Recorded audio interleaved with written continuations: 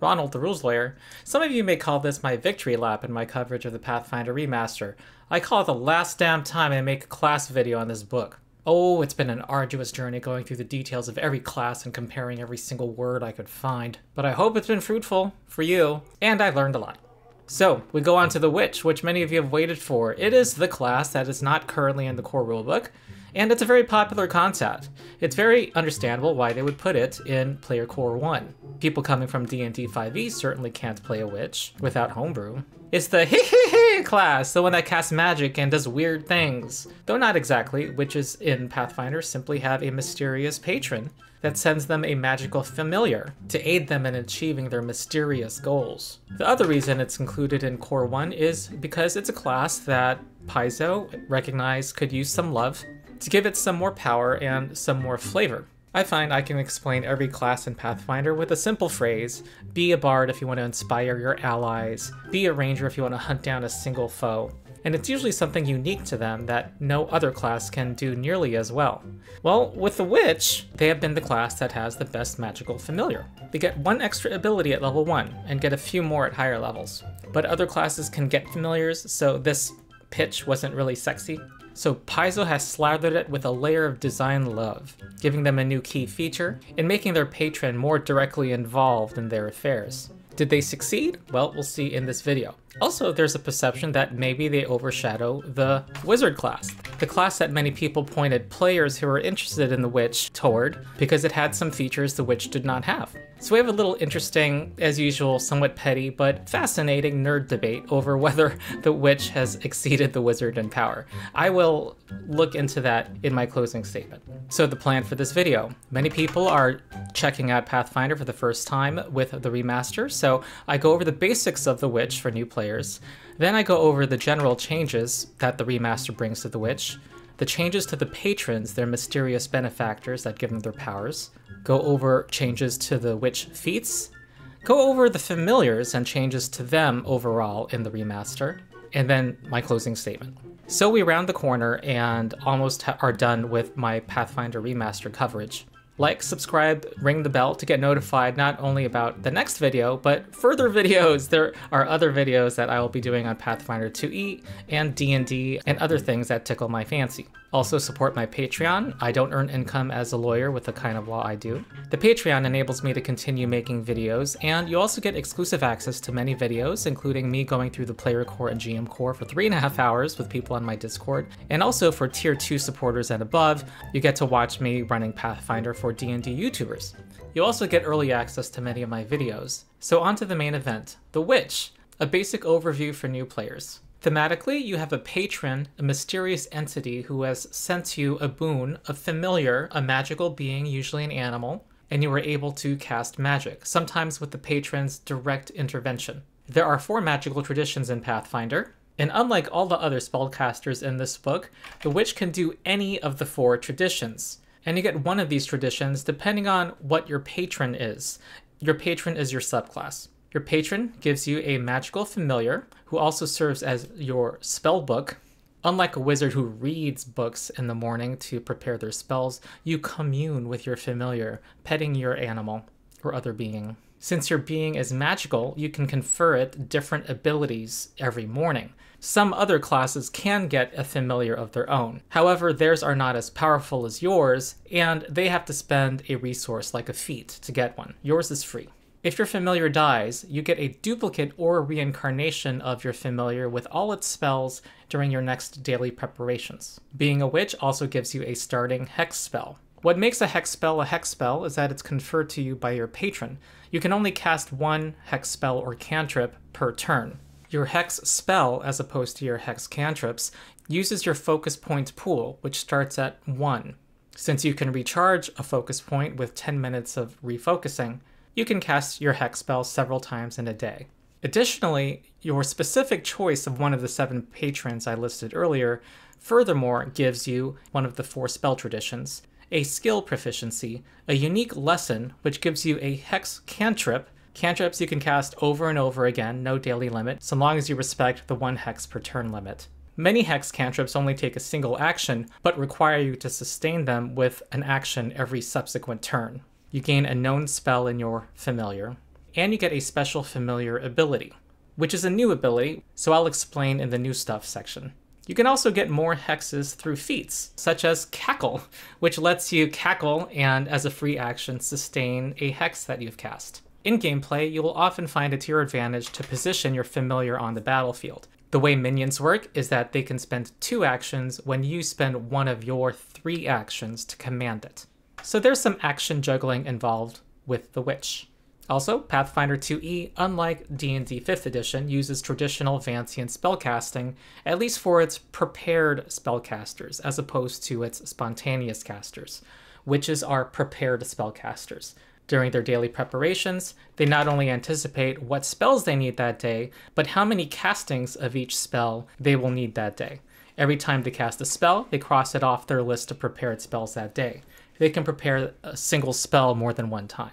Like every Pathfinder character, witches get a class feat every even-numbered level, letting them customize their class further. If you're coming from D&D, think Warlock Invocations. That's what class feats are.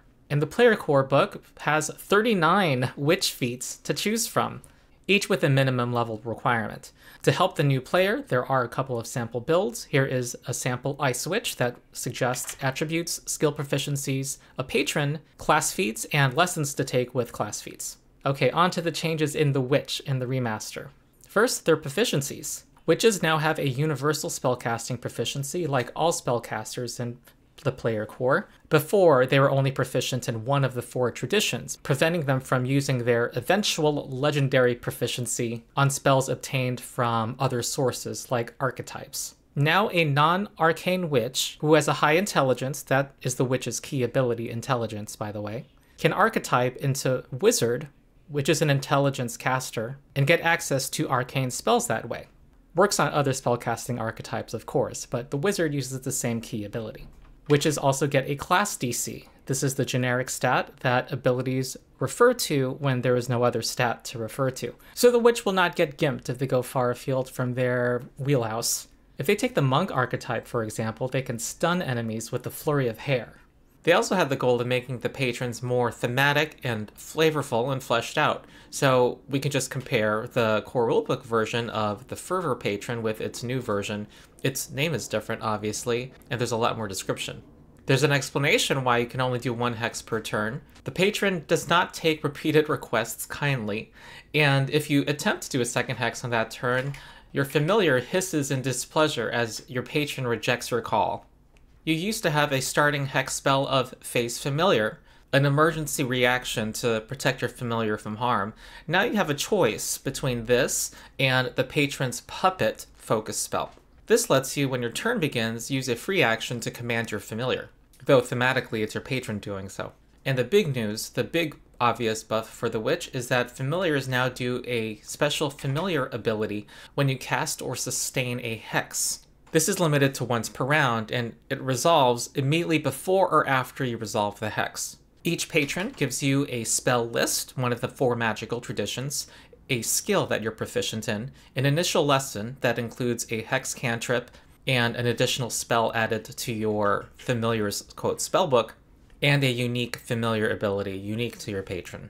We have the same seven patrons as before, and here they are listed under their corresponding magical tradition. Let's look at them in order by tradition. The first is our arcane patron, the inscribed one. This used to be called the rune patron. I'm only covering changes in this video. Something you'll notice and you'll want to keep in mind as we go through these special abilities is that the positioning of your familiar is now very important in the remastered Witch. When you cast or sustain a hex, the letters that are on your familiar rapidly change and it's distracting, allowing it to contribute to flanking as if it had a 5 foot reach. The Hex cantrip, Discern Secrets, is unchanged from the original. Next is the Divine Patron. This one is Faith's Flamekeeper, formerly called Fervor. When you cast or sustain a hex, your familiar is pleasantly warm and soft, washing away worries, granting a willing creature within 15 feet temporary hit points that last until the start of your next turn. Their Hex cantrip, which gives a status bonus to damage rolls, has been buffed. The temporary immunity of one minute after the spell ends has been removed. This was a spell that was sustained, so there was kind of a action tax if you wanted to keep buffing an ally once you got it started. That is now something you can now, without worry, stop doing and restart if you want to. Next are the occult patrons, and we start with the resentment, formerly known as the curse patron. I've spoken about this in a previous video, saying it might be too powerful. Well, I found that the problem may be worse than I originally thought. I will leave my comment on this to the end. The next one is the Spinner of Threads, formerly known as Fate. When you cast or sustain a hex, your familiar has a spot on its body that looks like a good luck charm or a bad omen. It lowers the armor class of an enemy by one or raises the armor class of an ally by one within 15 feet until the start of your next turn. There's been a buff to the Hex cantrip, Nudge Fate. This is the one that is one action and you sustain it, and if the target would fail or critically fail by one, this nudges them upward to change that degree of success. The buff is that it no longer needs to be sustained. It ha just has a one minute duration. Also, the temporary immunity of one minute after the cantrip triggers has been removed. This is similar to the guidance cantrip, except that you can have this on all the time when you are outside of an encounter. There is no cooldown anymore. I almost wonder if there's a typo involved here, because these two changes together make it essentially a permanent plus one to a character outside of combat throughout the whole day. Or maybe it's an intended buff. Also, it's the only hex cantrip that doesn't require sustaining. Next is the Starless Shadow Patron, formerly known as Night. The spell added to the familiar used to be Sleep, which did not have much combat use at low levels. It's now been replaced by Fear. When you cast or sustain a hex, your familiar is spooky and seems to draw light into it. And if it's concealed, hidden, or undetected, and adjacent to an enemy, it makes that enemy frightened 1. It doesn't have any traits attached, so it looks like creatures you would think would be immune to frightened can be subjected to this.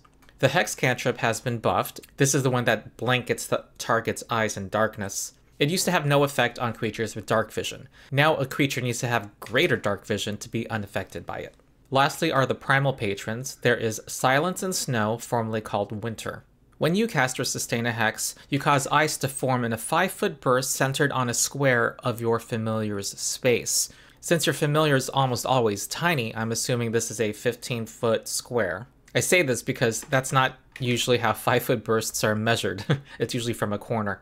You turn it into difficult terrain until the start of your next turn. Its Hex cantrip, Clinging Ice, which did damage with a single action and could lower an enemy's speed, has had its temporary immunity of 1 minute removed, so this can be cast repeatedly now.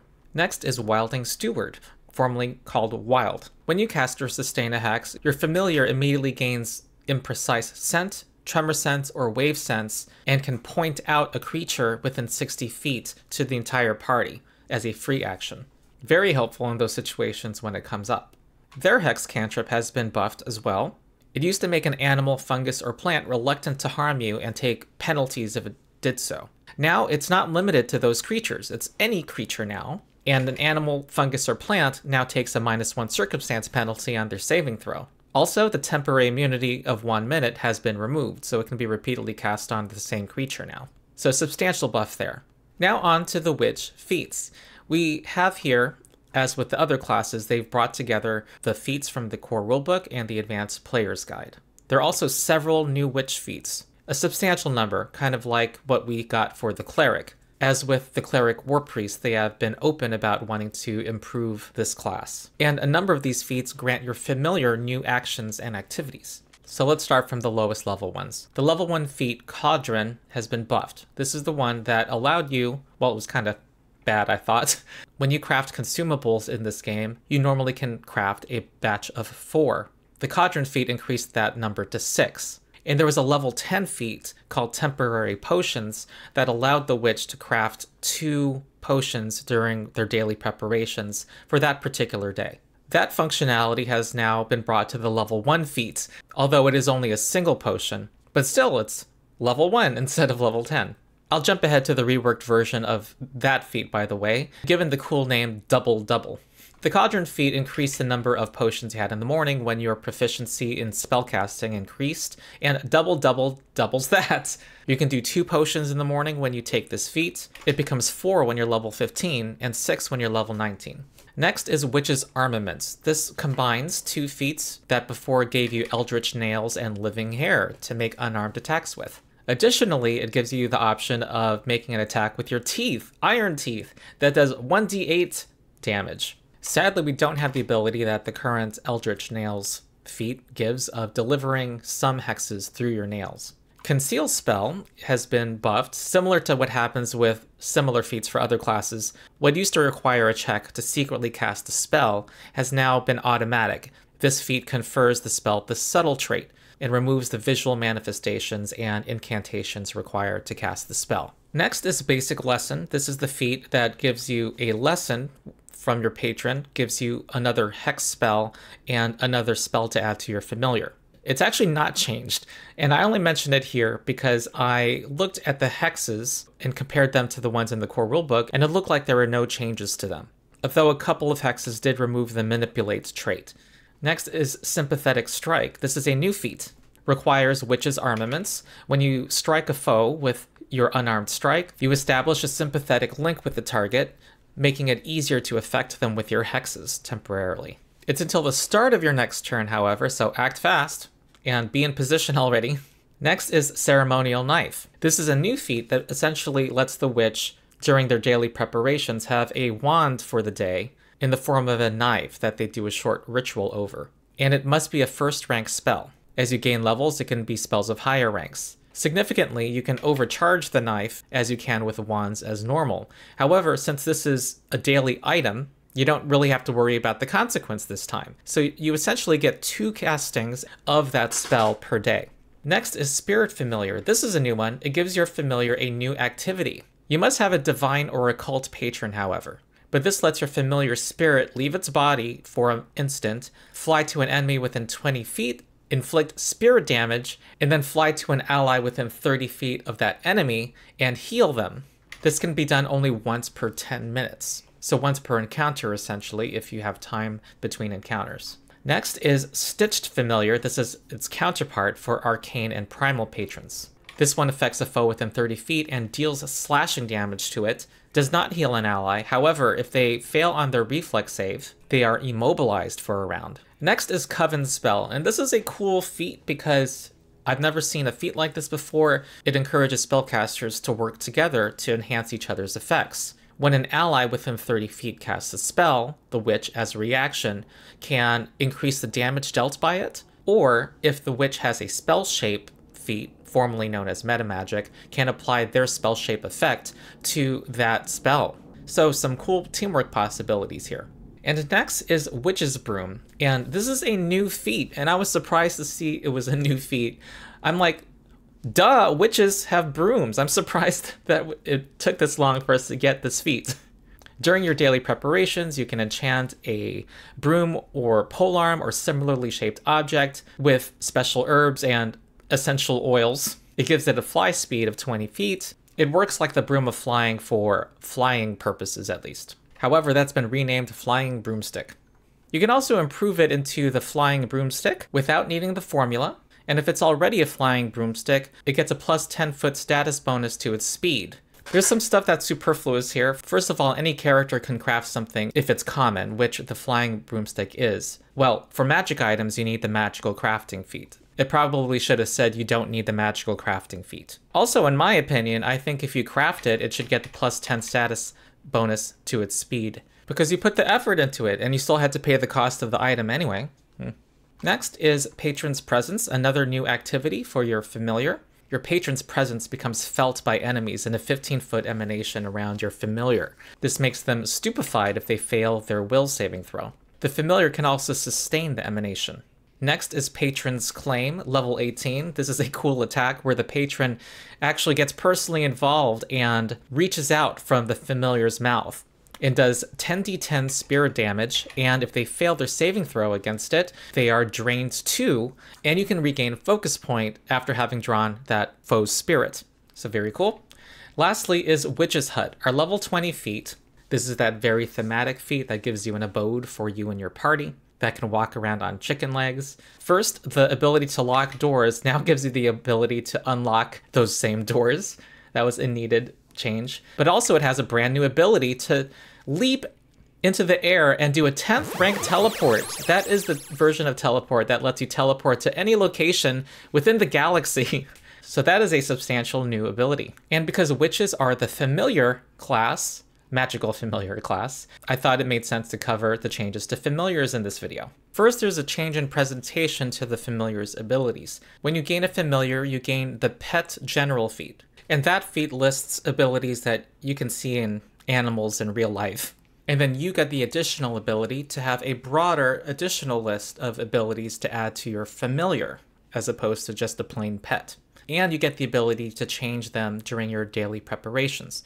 However, there is important language here saying that you cannot swap out abilities that are innate to your familiar. For example, you could not choose to not give a Raven familiar the flying ability. I could see some confusion at some tables as to what exactly is innate and what's not. The only examples I've seen given in Paizo text here and in previous books is animals having some locomotion ability. Like one ability is to have scent, an imprecise sense within 30 feet. Some might argue that's innate to an animal. I think this could use some clarification. Sadly, we do not have the specific familiars from the Advanced Player's Guide, specific defined creatures that, if you had enough familiar abilities to meet its requirement, gave you something like a spell slime or an imp. Those live on on Archives of Nethys, and hopefully we can get an expansion on familiars in the Player Core 2. However, this would have been the place to put them because it has the witch. This book is really big though, already. And there's a logic to having Player Core 2 be expansions to what is in Player Core 1. First, I'll list some familiar abilities and master abilities that come from other books. There is the elemental ability, which comes from Rage of Elements. Your familiar takes on one of the six elements and is immune to a bunch of effects. However, your familiar must first have the resistance familiar ability to select this. And minor complaint. This reminds me of how first edition Pathfinder formatted a lot of its abilities. A lot of times it would put the prerequisite at the very end of the paragraph. So you'd get very excited about something when you read it and then find out at the very end that, oh, this is gated. This happens throughout and it would be good for Paizo to avoid this problem, I think, somehow. Not sure. Maybe put a prerequisite right after the name in bold. Okay, next is Major Resistance. This comes from Grand Bazaar. This is a buff to the already existing resistance ability to a certain kind of energy damage. However, unlike the previous version, there is no intermediate ability that you have to take. There used to be something called Greater Resistance that was a step between resistance and this. So this ability chain has been reduced from 3 to 2. Next is Recall Familiar from Grand Bazaar. Once per day, you can teleport your familiar from within a mile to your space. Next is Restorative Familiar. Once per day, your familiar can heal you as long as it's in your space. Now we have familiar and master abilities that are new to the player core book. First is the Construct ability. This gives your familiar immunity to a bunch of things. However, it must have the Tough Pet ability to select this. This and the Elemental ability, I believe, cannot be changed from day to day since they are innate to the creature, and they have prerequisites, so that seems to lock in your familiar abilities, especially if you only have two, which other classes who get a familiar are limited to. Next is the fungus ability. It just gives you the fungus trait instead of the animal trait, doesn't give you any other abilities. Same with the plant ability, however, that at least has the saving grace that it allows you to take another ability called Plant Form for the familiar to transform itself into an actual real looking plant. Finally, there's a new master ability called Absorb Familiar. You get to transform your familiar into a birthmark, tattoo, or gem that vaguely resembles your familiar. It cannot act while in this form, and it's not affected by area effects, but it can be affected by those who target it. However, enemies will not be aware of it unless they seek it, it takes one minute to transform it into this form and back out of it. So this is a very important and powerful way to protect your familiar. All right, closing statement. This witch looks like a lot of fun. They definitely have buffed it in a number of areas. giving the familiar a free ability that's triggered when you cast or sustain a hex. A lot of the hex cantrips have removed the cooldown of one minute, so there's less bookkeeping and more freedom in using them. Also, I did not mention the overall change to focus points, where you can now refocus your entire pool of up to three between encounters so long as you have enough time to do so. This frees you up to cast your focus spells repeatedly and to do that several times per day if you have sufficient time. And let's not underestimate the importance of having the freedom to cackle repeatedly during an encounter. Also, because nearly all, if not all, the familiar free abilities that trigger on your hex require positioning. It'll be interesting to see how this affects the witch in play because you're limited to three actions and you have to spend an action to command your familiar around the battlefield. Add to that the fact that hexes, many of them are a single action, and many of the spells you cast from spell slots cost two actions. You may need to cackle a lot. so while it seems like a sheer buff, this ability to do something with your familiar, it also leads to more agonizing decisions with your action economy, which I personally think makes gameplay more interesting.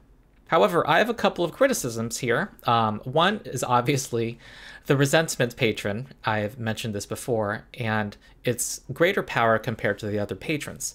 I've already pointed out the fact that its free effect when you cast or sustain a hex can sustain any negative condition on a creature within 15 feet, as long as it has a duration. And there are some very powerful negative conditions with durations, like slowed, sometimes stunned has a duration, immobilized, or clumsy 3, and it can extend multiple negative conditions. Also, I noticed while going through the survey of the patrons that every other familiar free ability had a duration of until the start of your next turn, which has significance, especially since sometimes your hex is a reaction. This doesn't have that limitation. And what I found out recently while watching Knights of Last Call's stream, great channel, is that their hex cantrip has gotten a significant buff. Uh, Evil Eye has the chance of frightening a target, and after you attempt it against a creature, they are temporarily immune for one minute. Well, the new Evil Eye has removed the temporary immunity, and it changes the condition from frightened to sickened. Sickened has the same effect as frightened. It imposes a status penalty on all of your checks and DCs, but it does not go away on its own. It lasts indefinitely until they spend an action to attempt to retch to get rid of the condition or lower the condition in case of sickens 2. And Sickened also prevents you from voluntarily ingesting things like potions. Because the duration is indefinite, there's less need to spend extra actions in future turns to sustain it. Also, it removes the emotion, fear, and mental traits, and so I think this is more broadly applicable to creatures than the previous cantrip. Now, we've seen buffs to all of the hex cantrips so far, so maybe this isn't necessarily a bad thing. But for me, the issue is that this buff may be the most significant buff of all the hex cantrips, and it's combined with the patron that has the most powerful free familiar ability. So, meh, I wasn't that happy with that. I think that it's too powerful relative to the other patrons, disincentivizing choosing another patron because it fits your character concept. There's kind of a pressure to pick a certain one now, some tables may not see this as a problem. However, for a rule set, there should be some more uh, quality control, in my opinion, which is overall excellent with Paizo. I'm not really complaining here. I just think that this was a wrinkle that got through. Now, what should some tables do if they view this as an issue? Well, I am not going to make any proposed specific fixes. I'll let people argue it out. I think there's a number of possible approaches, and I don't want my prominence in the community to uh, make something the quasi official, unofficial change. My other complaint, and you probably caught this when I went through it, was that there are some abilities for familiars that simply give you a trait that give you no other abilities. The elemental and construct abilities gave you a bunch of resistances and immunities, but these don't have any effect and I thought there should be some effect. The plant arguably lets you qualify for another ability, but okay, first of all, fungus is left out in the cold, otherwise, it functions as just a tax. That, moreover, you permanently have. You cannot get rid of it. If anything, having the fungus ability makes your familiar less powerful than other familiars. And then the topic that I teased on in my wizard coverage how does the newly buffed, improved witch compare to our old standard wizard? And has the witch surpassed the wizard and made the wizard redundant and lackluster in comparison? Because the wizard did not get that same treatment. There are tweaks here and there, but their new specialized arcane school spell slot now has a more limited spell selection. And the tweaks it got to some feats, that's that's no different from the treatment other classes have gotten in the remaster. Well, the obvious point of comparison would be to look at a wizard that has the thesis improved familiar attunement and see how that stacks up against the witch. The improved familiar attunement gives the wizard a free familiar, but also an extra ability at first level and additional abilities at higher levels. And this gain of extra abilities operates exactly the same way it does for the Witch from their class feature. All right, so our head to head battle. well, they both have an equal amount of more familiar abilities, except for the fact that the Witch has a familiar free effect when you cast or sustain a hex. They also gain a hex cantrip from their patron, that is usually a single action that has some significant effect. One of them, Clinging Ice, does modest damage as well, which scales up as you level up. The wizard, meanwhile, has more spell slots in the day. They also have the once per day drain bonded item ability to recast the spell that they have expended. And if they do not specialize in a school, they get to drain their bonded item once per spell rank. However, the witch also has the advantage of taking lessons from their class feats. These are the ones that let you gain a hex spell. And we'll remember that the remaster increases your focus point pool every time you get a focus spell with a maximum of three. Wizards, however, are not able to get more than two focus points if they're only taking wizard class feats. So this combined with their hex cantrips, which are, I would say, a step above your usual cantrip, means they have more rechargeable resources that they can use in the adventuring day. And there are also some feats that we saw that gave the familiar an activity, a powerful activity, that has a cooldown of sometimes once per 10 minutes, such as the Spirit Familiar ability that lets them attack an enemy and then heal an ally. This is almost like a fourth focus point if you think about it, and it's possible, if you're high level, to get more than one of these abilities. So while the wizard has more daily resources and spell slots, the witch has more rechargeable resources that can be used regardless of their spell slots. So it kind of looks like the witch is the winner here. However, I will point out the universal balancing factor of the action economy and the fact that everyone is limited to three actions. A lot of the witch's options look like sheer additional things they can do. However, they all cost actions. The free familiar ability only triggers if the familiar is in close proximity, quite close proximity, to a foe. A lot of your hexes only cost a single action, but you are juggling casting hexes with positioning your familiar, and also casting your usual spells. And a lot of those hexes only last so long as you sustain them, further straining your action economy. Much more than the current witch, you kind of have to put your familiar in harm's way in order to get the full effect of your class. And there's an interesting choice now at level 1. Do you want the hex spell that protects your familiar from harm as a reaction, or the one that lets you command your familiar for free and improves your strained action economy. There is a clear message to GMs, by the way. Using the new Witch, you do not want to ignore the familiar as a, another creature that can be harmed by area effects and targeted effects. Meanwhile, the wizard has more spell slots and has a little more freedom to cast those spells that have long durations that don't require sustaining, unlike witches' hexes. So a comparison between the two classes needs to look more at actual play and compare the efficacy of what a witch is doing in two or three actual rounds of actual decisions compared to what the wizard is doing. A more difficult comparison that is probably usually beyond the amount of effort that is put in a usual internet argument. But stepping back a bit, yes, the witch has more other actions outside of their spell slots, and some of them cost single actions more choices for the witch, but more things competing for their action economy. One thing can be said pretty definitively, however.